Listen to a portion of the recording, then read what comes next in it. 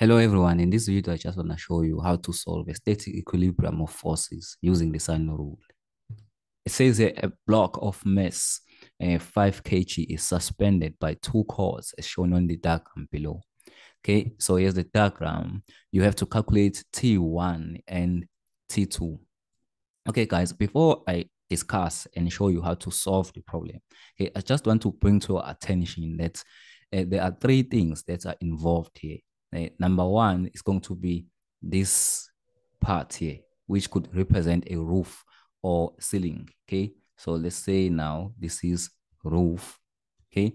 And there are strings. Okay. So we've got string one and string two and string three. Okay. So uh, we have uh, strings. And we also have um, the block okay? And we we have the block.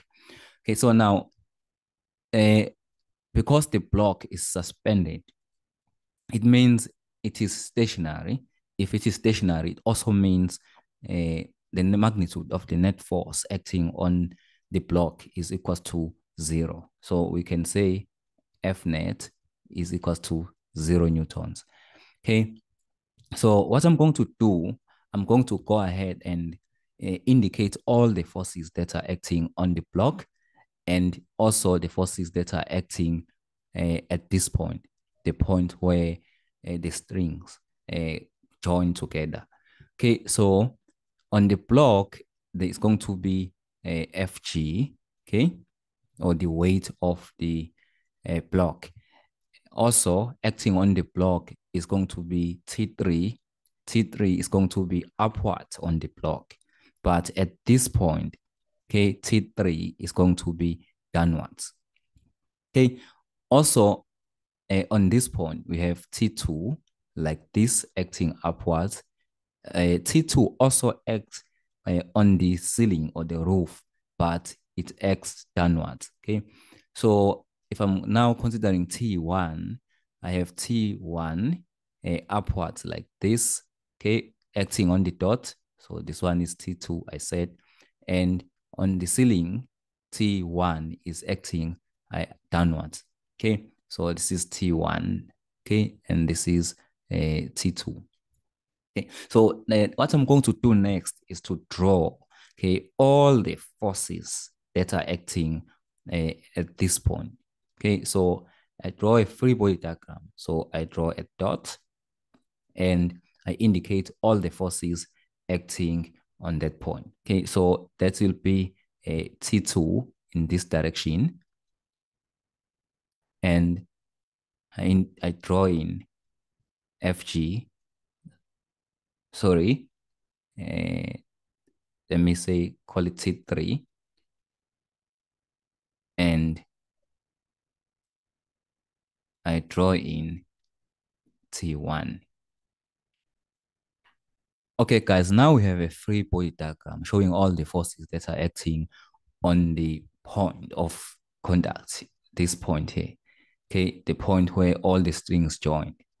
Okay, because this point is at equilibrium, it means the net force that acts on it is equal to zero newtons.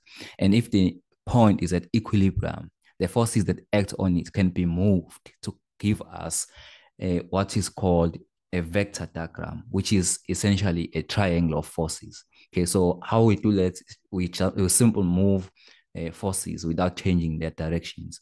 Okay, so I'm just going to uh, move T1. Okay, I just draw a line like this, and T2 is moved down here. Okay, so I'll put arrows, and this is going to be T1 in this direction. Okay, so I'll draw, I'll simply draw that triangle here. Okay, so it will be a, a force downwards and a T2 like this. And T1 here. It's going to be T1. Okay, so this is a T3. Okay, guys, uh, because we've drawn a triangle of forces now, we need now to uh, work out the sizes of these angles. Okay, so what I'm going to do next is to show you how to work out uh, the sizes of these angles. Okay, guys, I've already drawn in that uh, vector diagram again, the triangle. Okay. Also, uh, notice here that I've instead of calling this vertical force T3, I've called it FG, the weight of this block. Okay, so uh, now I'm going to show you why. Okay, if this block is uh, stationary, not moving, and uh, the net force that acts on the block is equal to zero, we notice that there are two forces that are acting, only two forces that are acting on the block. It is Fg, which is the weight. Uh, we can also call this one W. Okay, it's Fg uh, downwards and as well as uh, T3 upwards. So if Fg uh, is downwards, T3 is upwards. T3 must be equal to uh, Fg for the forces uh, to be balanced, meaning the force up is equal to the force down. Okay, so we note here that T3 is equal to Fg. Okay, so instead of writing T3 here, I've written uh, Fg, which is the weight of the object. Okay, so and one more thing, since we are given mass, we can calculate the uh, size of this force. Okay, um, uh, we have a formula Fg is equal to mass times the gravitational acceleration. Okay, so this this is going to be five times in 9,8. Okay, so we have to take out our calculator and uh, find the answer. So 5 times 9,8. Okay, this gives us 49. Okay, so we have 49 uh, newtons here. Okay, as our answer. Okay, so we have a triangle here with one known side, which is uh, 49 newtons. Okay, so now uh, I also want to work out the angles inside. I want to show you how to work out the angles, uh, the, the size of this angle and this angle and this angle. Okay, so to do that, let's go back to uh, the diagram, the give the original uh, diagram, the question paper. Okay, so we have to look at this. So we are given two angles here. Uh, 37 degrees and 57 degrees. Okay, so we note that uh, the angle between the ceiling or the roof and T1 is 37 degrees. It means if we go to our triangle, it means the angle between, right, uh, the horizontal and T1 is 37. Okay, if this angle is 37 degrees. What is the size of this one inside? Remember that if I've got two lines that are perpendicular to each other, and I'm given that this is 37 degrees. Okay, so what is going to be the size uh, of this angle? Because the total angle is 90 degrees. So all I have to do is to say uh, 90 minus 37. That gives me 53. It means the size of this angle is 50, 53 degrees. Okay, now let's go ahead and work out the size of this angle. So we've got T2 here. Let's go back to the uh, question and check out T2. T2 makes an angle of 57 degrees with the horizontal. Okay, here's the angle is given here. So what I'm going to do, I'm going to my triangle and I'm saying uh, if T2 makes 5, 7, so this angle is 5, 7 degrees with the horizontal. What is the angle in the size of the angle inside here? Okay, again, I'm just going to say uh, 90 minus 57. That's going to give me a 33. Okay, so the size of this angle inside is 33 degrees. Now, I've got two angles inside my triangle. How do I work out the third angle? So because the sum of angles inside a triangle is equal to 180 degrees. So I'm just going to say, uh, let's call this one a unknown y. Okay. So I will have a uh, 53 plus angle y plus uh, 33 degrees equals to 180 degrees. So what I can do is to say uh, 180 degrees, 180 degrees minus uh, 53 minus 33. Okay, so I'm getting uh, 94 uh, degrees.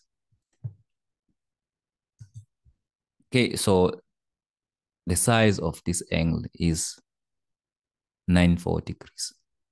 Okay, guys, now we have a triangle with one known side and three angles inside. Okay, so uh, how are we going to calculate the magnitude of T1 and that of T2? Okay, so that's exactly what I'm going to show you now. There are two methods to do it. The first one is using the sine rule or a, right, a trig ratios if the, if the triangle is right angled.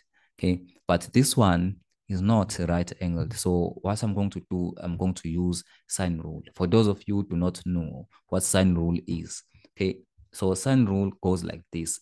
Assume we have a, a triangle, okay, right?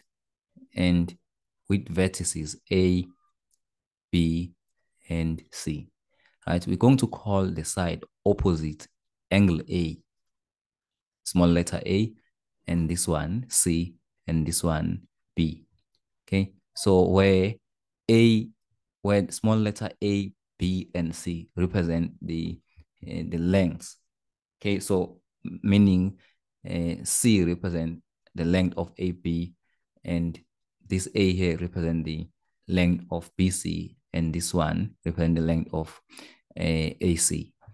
Okay, so now sine rule goes like this. It says A over sine of the angle opposite A, which is A, is equals to B over sine B, A equals to C over sine C. This is sine rule.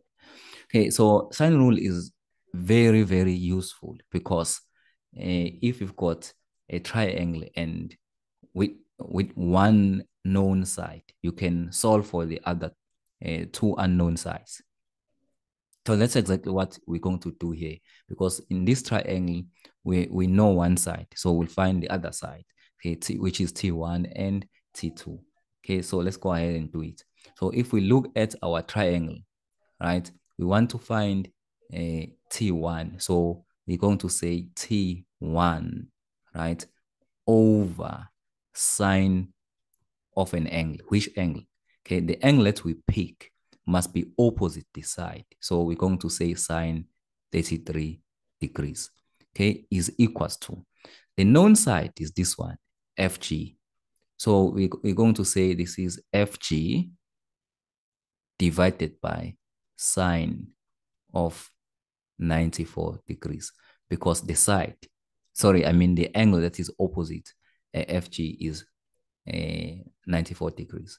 And then we're going to substitute for FG. So we have T1, okay, over uh, sine 33 degrees equals to 49 over uh, sine 94 degrees. Okay, so now we have an equation with one unknown, T1.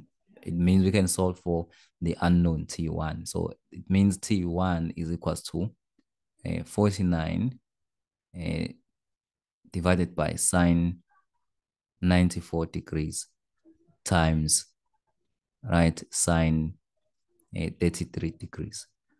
Okay, I can then take my calculator and uh, solve for the magnitude of T1.